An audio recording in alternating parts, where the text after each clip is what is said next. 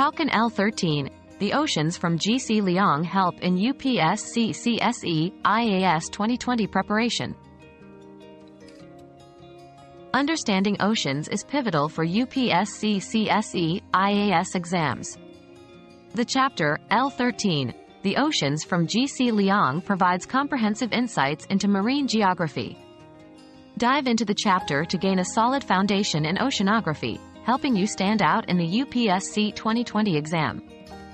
By focusing on such crucial topics, you not only broaden your knowledge but also boost your chances of scoring higher.